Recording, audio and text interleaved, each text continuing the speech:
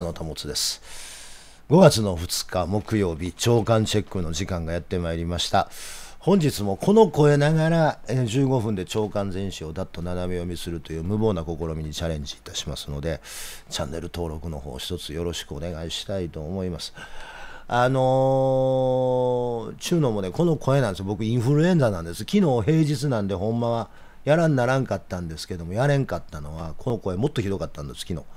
で熱もねちょっとあってねあのインフルエンザ A 型の診断をいただきまして、えー、昨日は腸管チェックをお休みさせていただきました。大変申し訳なかったです。で今日もね僕本調子じゃないです、えー、本調子じゃないんでえっ、ー、といろいろお聞き苦しいところと内容が育つのところがあろうかと思いますが精一杯頑張りますのでお付き合いのほどを一つよろしくお願いしたいと思います、え今日はあの声が小さいかと思います。あの声が出ないんですよ。もう何も出ないです。もう声も出なければ金も出ない。何も出ないです。うんともすんとも言わんとこのことですね。はい、えー、まず日経新聞からいきましょうか。日経新聞です。えー、日経新聞なんですが、よいしょ。もうちょっとこうしようかな。日経新聞です。えー、まあね、えー、まあ、ここに載ってますけども、一番の注目はこの円安です。えー、市場の介入がどうなるかということなんですが、市場介入、まあ、5兆円規模の介入をどうやらしたっぽいと言われてるんですけども、えー、4月の26日にあの金融政策決定会合がありまして、まあ、その前から、えーまあ、ドル買いの、えーまあ、円売りドル買いの機運があって、こんだけ下げてるわけですね。で、こんだけ下げたのを、これ、まあ、5兆円でこんだけ買い上げたんですけど、ここの分の利益確定分があるから、投機筋は全然こんなもん聞いてないわけですよね。まだあの円売り圧力があるという状態です。えー、これ以上、あと8回ぐらいあるんちゃうんかって市場は言うてるけれども、で、まあ、原資がね、大体、えー、3000億ぐらい残ってるんで、えー、3000億ドルね、えー、ぐらい残ってるんで、まあ、いけるんちゃうんか言うとるんですけど、どうでっしゃろな。もうやったかって無駄なような気がします。えー、やったかった無駄なような気がします。もうあのこれね、ちょっと大事な話だからしておくんで、アングロサクソンの人とね、まあ、日銀とか財務省の人は日本でもそうだと思いますが、アングロサクソンの一般人と話してるとね、あのあの人たちは、えーと、と基本的に金利というものを借金の金利と考えないんですな。金利というのは来年自分の手持ちの金がどれだけ目減りするかのバロメーターとして見てる感じがあるんです。これうまいこと話できないんですけどうまいこと日本語的に表現できないんですけど日本人の場合は金利中のがこれ前も話したことあるけど金利3%やったら100万円の借金したら3万円の利子がつくって考えるんですけど、えー、3%の金利というのをがあるとそのその分来年目減りするって考えるんですねあのアングロサクソンの人らの考えお金感って。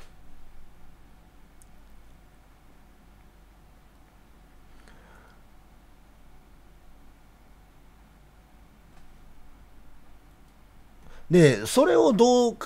その目減りするのがもったいないさかい金をどう使うか貯めようかという考え方をしはるんです。うんやっぱねなんかアベノミクスの最大の功罪はやっぱここにあるような気がします最大の罪はねあの日本の田舎のおっさんの金銭感に資本主義をで資本主義をやってしまったというねまああのこれはちょっと哲学的な話なんでまた今度ゆっくり話をしましょう。はい、でブリンケンがイスラエルに行ってます。えー、ガザ休戦、ハマスが妨げ言うて、えー、強力な、えー、停戦交渉案がテーブルの上に乗ってるのに、それを飲まないハマスが悪いみたいなことをブリンケン言うてるんですけども、一方でネタニヤフは閣内の極に突き上げられて、停戦合意するが姉妹がラファへ攻撃する言うてます。これはあの、どっちやねんって話ですから。どっちやねん。はい。で11面です、そのラファの件に関してなんですが、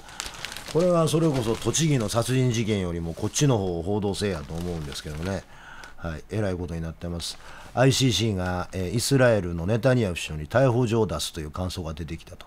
戦争犯罪で捜査が進んでるっていうんですね。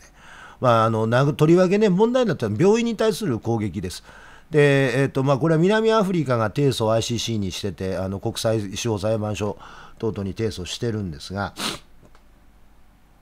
えー、国際刑事裁判所の方のこっちの捜査には、えー、南アフリカのみならずトルコも乗っかるんではないかなと言っています。でこれ、逮捕状出たら結構大事です、えー、どれぐらい大事かっていうと、プーチンに対する逮捕状出てますからね、えー、国際世論は、アメリカとイギリスを除く国際世論は、えー、ネタニヤフを、えー、プーチンと同列に考えてるということを、え、日本の皆さんも捉え直した方がよろしいんではないかなと思います。で今日のちょっとテーマになるんですけどね。ね30面です。もうガーンと話が変わるんですが30面。30面。はい、えー、能登地震長引く損壊調査。自治体で人手不足2ヶ月待ちもって言うて。罹災証明出てないとこまだあるっちゅうんです。ちょっと考えられないですね。はい、読売新聞行きましょう。読売新聞です。次、読売新聞。はい、えー、っと、自民党の話がこれ2面に載ってると、こんなもん、話題にしてどないすんのかなと思うんですけど、完全に舐めてますな。えー、自民党が、えー、公開基準下げ容認と言うてるんですけど、えーえー、これ何かとパーケンの購入者の公開基準を下げるということを容認する言うてるんですね、えー、これが自民党の補欠選挙3連敗の総括だそうです。ようわからん。なんでこんな答え出てくるのか俺これね突っ張れた方がおもろいと思うんですけどね。自民党の起死回生。を考えると。はい。で、えー、っと、立憲です。えー、立憲の追い風で熱量か泉体制に渦巻く不満ということで、まあ、こんなこと一生言うてるんでしょうな。はい、えー、まあ、こんなこと一生言うてはったらよろしいと思います。えー、もう、小沢さんなんやかんやん、ごたごたごたごた小沢さん自分で代表やらはったらよろしい。そっちの方がよろしい。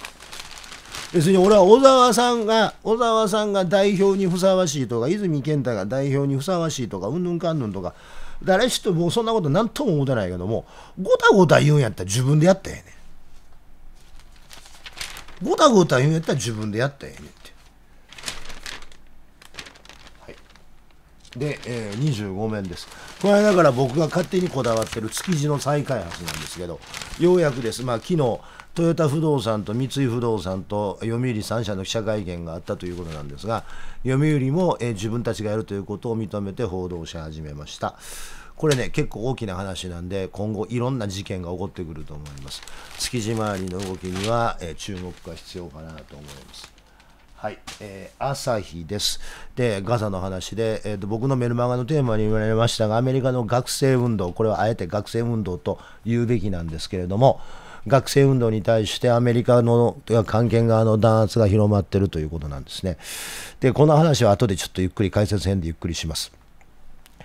えー、が、あのー、まあちょっとコロンビア大学はいちご白書みたいな感じになってますね。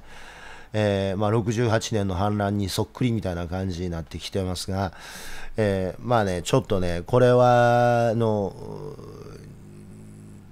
いろんな意味で舐めて見ててはいかん動きになると思います。バイデン政権の足元を根底から揺るがす結果になるんじゃないかなと思います。はい。で、4面のこの記事が僕はとても重要やと思うんですね。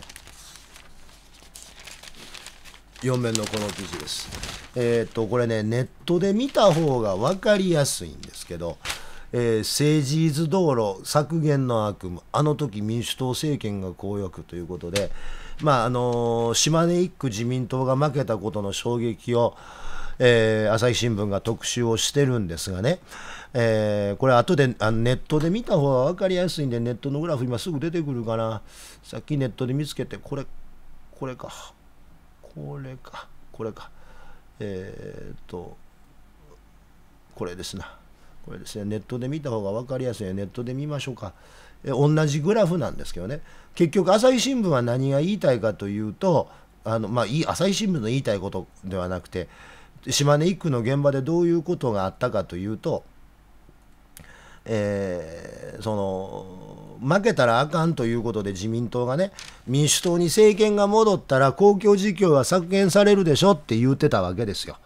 で公共事業が削減されるから、えーと、民主党になんか投票したら飽きませんよっていうことを一生懸命自民党は島根1区で言うてたんです。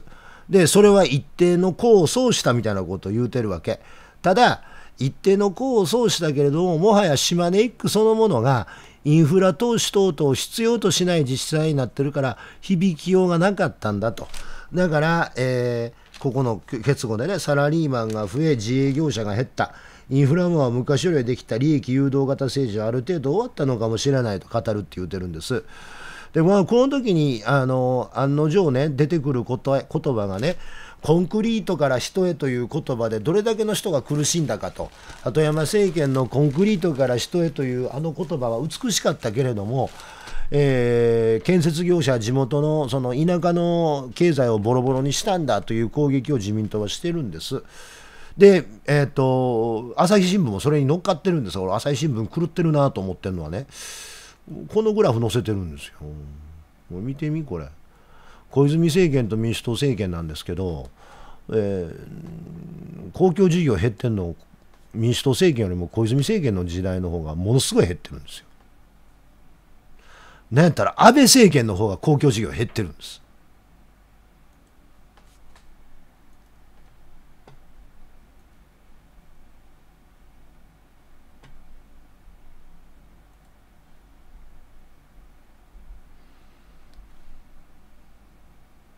コンクリートから人へと立憲あ民主党政権が言うたことは事実ですが予算規模と予算の削減率考えたら小泉政権と安倍政権の方がえぐいんです。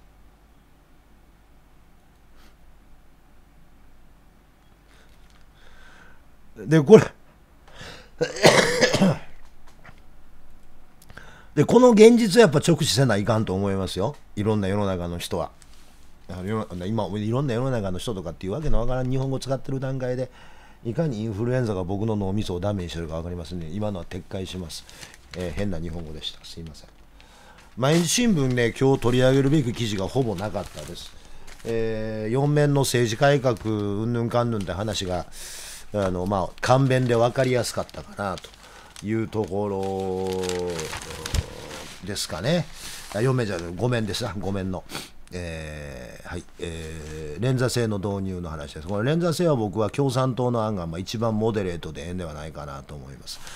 はい、えー、まあそんなもんかな。産経新聞も読むものがないですね。産経新聞も今日は読むものがないです。えー、13面、えー、かな。えー、まあ、これもしょうもない話なんですけど、芸能の話です。えー浅岡瑠璃子が今度13日14日とトークショーをやるそうです。えー、小林明、石原裕次郎一括すごく楽しい時代ってとまだ元気です。一人で元気です。近所のスーパーでよう見かけますがね。まあすごいオーラです。